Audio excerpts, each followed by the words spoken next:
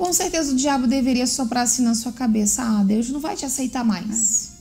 Uhum. Olha o que, que você já fez, olha como você desprezou ele. Ah, ele não vai te aceitar. Que não é digna de voltar, que uhum. não é uhum. digna de buscar a Deus, que não é digna de, por exemplo, um ex-obreiro não tem esse pensamento: ah, eu jamais vou voltar a ser obreiro novamente, eu jamais vou ter a oportunidade de servir a Deus novamente. E uma coisa ia falar antes, que, mas você citou isso e é importante a gente frisar, é que o diabo ele tenta projetar em nós aquilo que é o futuro dele, porque para ele não tem mais jeito.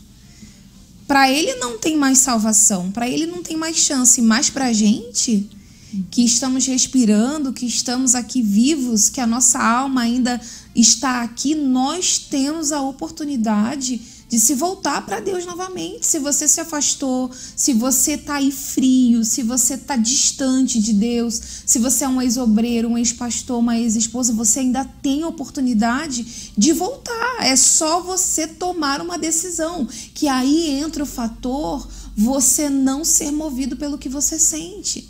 Quando você começar a enxotar esses pensamentos que estão aí bombardeando a sua cabeça dizendo que para você não tem mais jeito, você vai enxergar a possibilidade que existe para você, que existe sim chance para você receber o Espírito Santo de verdade e se tornar uma pessoa diferente. É só você entender o seguinte, que essa voz que está aí falando para você que não tem mais jeito é a voz do diabo. E para ele que não tem mais jeito. E como que você faz isso? Você tem que rebater. Você tem que partir para cima dele. Ah, mas eu tô fraco. Mas em o nome do Senhor Jesus, você pode sim rebater o diabo e falar: olha só, diabo, preste atenção. Para você não tem mais jeito. Enquanto eu viver, enquanto eu estiver aqui respirando, para mim tem jeito sim, eu vou buscar Deus.